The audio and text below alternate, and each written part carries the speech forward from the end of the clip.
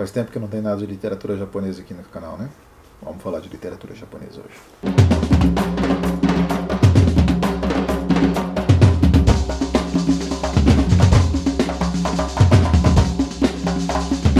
Livro de hoje, o Kyo Mishima Patriotismo. Esse livro foi publicado pela Autêntica, ele veio em dois livrinhos assim, porque o patriotismo mesmo é só esse livro. Ele é muito pequenininho, não tem nem 50 páginas o livro. E aqui veio esse ensaio do Victor Kinjo chamado Quem são Mishimas? Porque realmente, né, cara, o Mishima não é um cara só. O Mishima são, são vários caras, é uma parada difícil de entender. Quem é o Mishima? Acho que a gente tem que fazer um, um dossiê Mishima a qualquer hora aí, né? O pessoal tá pedindo muito pra gente fazer dossiê. A gente fez só um dossiê do Pincho uma vez. E o pessoal fica pedindo, a gente não faz, mas é porque é, uma, é um tipo de vídeo que demanda um pouco mais de, de pesquisa, né? Enfim, um pouco mais de preparação. Só agora que eu, que eu tô ganhando dinheiro com o canal, graças ao Catarse lá que vocês estão fazendo. Aliás, continua ajudando a gente no Catarse. Mas agora que eu tô agora que, que, que tá rolando dinheiro, eu sinto que é um, eu, sinto, eu sinto uma necessidade de ser um pouco mais profissional, ou seja, de preparar, se, se não fazer um roteiro para o vídeo, pelo menos assim, anotar no papel uns tópicos, sabe? Tipo, porque a parada estava muito caótica e desorganizada até então. Então, assim, pelo menos para fazer uma coisa.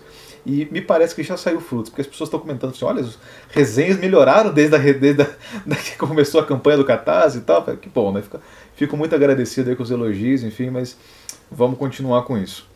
Patriotismo foi escrito em 60, uh, ah, virou filme em 65 e o autor se matou em 70. Tá? Então, nesse período aí, a gente tem a derradeira romance. O Mishima falava que se as pessoas tivessem que ler só um livro dele, que lesse esse aqui. Ficou fácil, né? Ficou, ficou bem fácil para você. Ah, se eu quiser ler um livro do Mishima, qual que eu começo? Cara, começa com esse aqui e pode terminar por esse mesmo, porque ele, tipo, para ele já tá bom, assim, porque ele disse que se quiser ler um livro só meu, você pode ler esse aí, porque você vai ter uma noção de quem eu sou como escritor, tanto com meus pontos negativos quanto uh, positivos. O, o livro ele parte de um acontecimento real que é um, uma, um incidente acontecido em 36. Houve um, uma insurgência de certos militares uh, contra o governo do Japão, pedindo para que se entregasse o poder nas mãos do imperador Hirohito. O mesmo Hirohito lá, enfim. Né? Aquele cara. Então eles reuniram, acho que sei lá, mil soldados lá, foram e mataram, acho que três políticos e pediram uh, para entregar o poder. O Hirohito, né, que, é um, que é um cara assim super 10, né? Ele falou assim, cara, esses caras aí são traidores, pode executar todo mundo, não tem nada a ver com isso. Enfim, e os caras foram lá na frente da casa do Hirohito, lá cantaram lá o hino nacional e dois deles se mataram e uns, uns outros lá foram executados. O livro parte do, de, um, de um tenente, a história do livro parte de um tenente que era amigo desses insurreitos aí, que quando ele soube da insurreição, falou, pô, os caras não me chamaram para lutar com eles, e o, o, governo manda que ele lidere as tropas para reprimir, ou seja, para matar os caras. Eu disse, eu não vou fazer isso com meus amigos, eu vou me matar no, no lugar.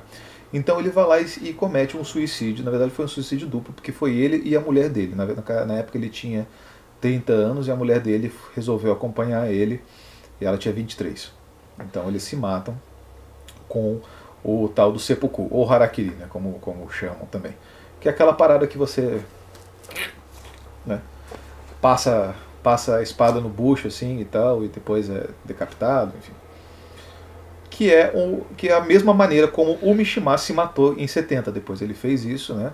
Uh, vestido de, de, de, militar, né? com o namorado dele atrás. O namorado dele foi lá e ajudou ele a fazer o, o bagulho. Depois o próprio namorado dele se matou. Então, basicamente, o livro inteiro ele é a descrição da última noite desse casal. Né?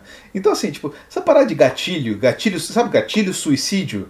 Isso aqui é uma alavanca suicídio, meu irmão. Isso aqui não é um gatilho. Isso aqui, tipo assim, é a maior bola de demolição contra o seu psicológico. Você está mais ou menos abalado e flertando com suicídio. Recomendo que você passe muito longe desse, mas muito longe mesmo, assim. Porque ele é um livro que não poupa detalhes em nada, sabe? E por que, que o Mishima falou que esse livro era representativo da obra dele, porque tem muita coisa aqui que perpassa a, a, as preocupações literárias dele em outras obras, mas que aqui estão bem resumidas, sabe?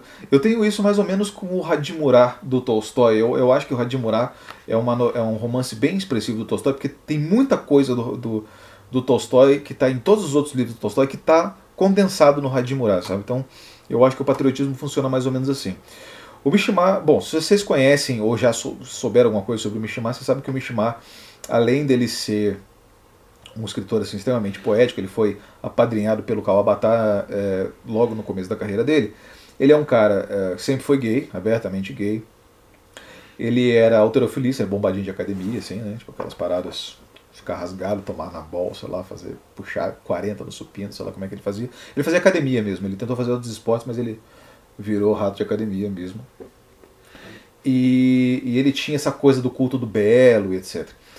A todo momento nesse livro ele está uh, ah, colocando tudo aquilo que, que, o casal faz, ele, ele, ele coloca é, com a morte em perspectiva.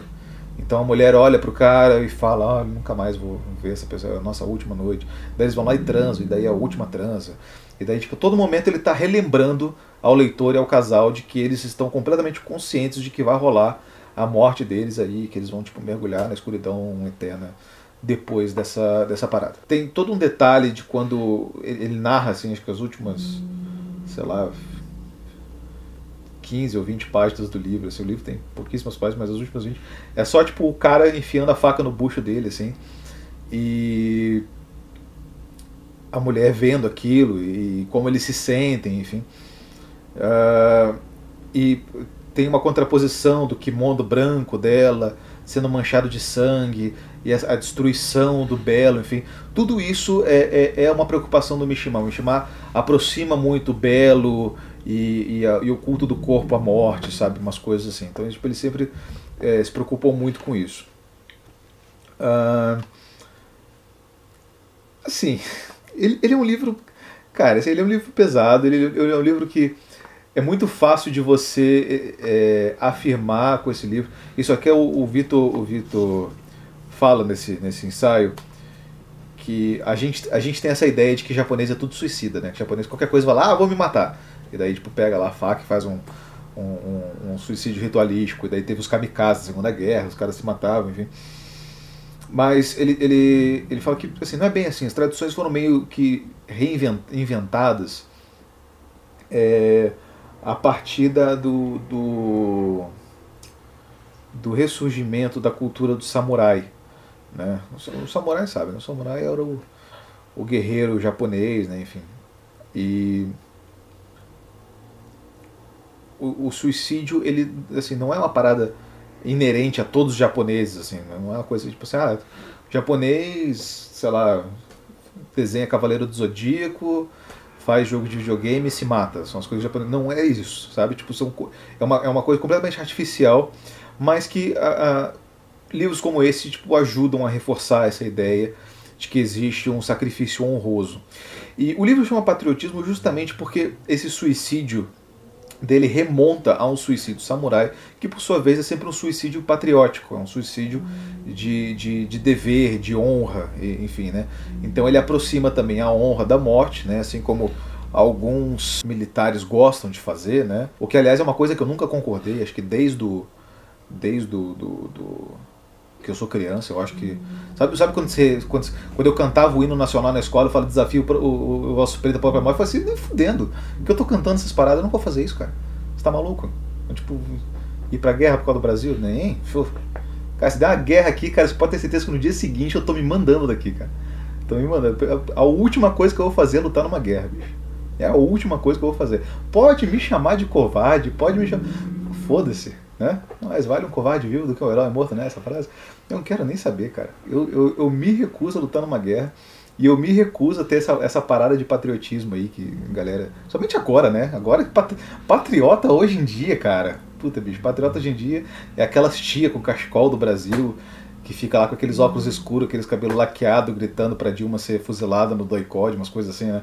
Então, assim, eu, eu acho que, eu acho que o patriotismo nunca foi uma coisa muito positiva, mas no Brasil de 2020, amigo, Existe uma aproximação condensada entre morte, dever, né, o dever patriótico, uh, o amor, o corpo, né, tudo isso está junto na obra do Mishima e, e, condensado nessa obra aqui.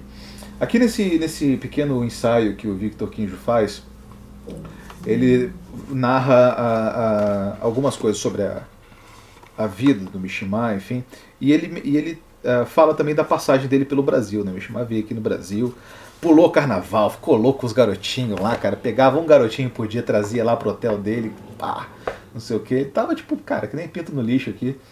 E ficou um tempo em São Paulo, mas ele curtiu mesmo a, a folia e a devassidão carioca mesmo. Uh, enfim, e, e, assim, eu, eu achei um livro assim, principalmente ele é um livro poético no sentido de que ele uh, reforça algumas imagens poéticas que eu já, tinha, já presenciei em outros livros de literatura japonesa que eu li, é, que, que colocam uma, um certo peso de, de inocência e, e, e limpidez no erotismo, né, que é uma coisa completamente avessa, por exemplo, ao Pedro Juan Gutierrez, né, que é aquela coisa de sexo com suor e, e sovaqueira e coisa do tipo, né, que ele fica narrando lá em Cuba, etc uh, uma, uma certa, esse, certo, esse certo instinto patriótico mesmo, de dever e honra e tal, e uma certa organização é, ritualística para um, um suicídio, né?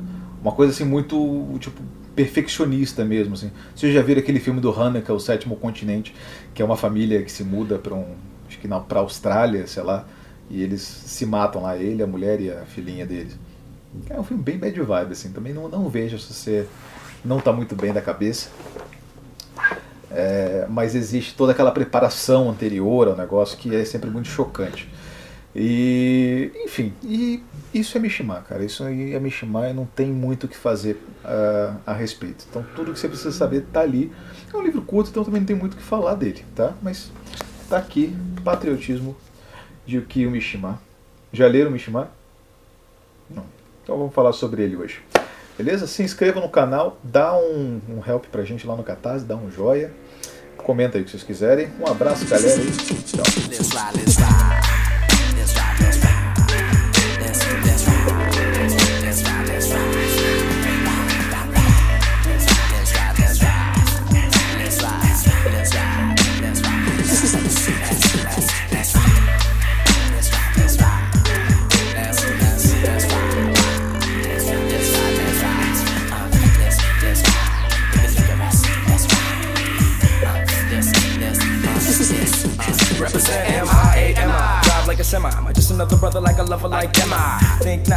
Not, to drink I don't need you drunk or recipe for liquor in your paint spot. Love to see double in the two, triple O, dribble all up on the nipple, simple we can cripple. Sick of low, speak of breath, hoes, coming in, know what.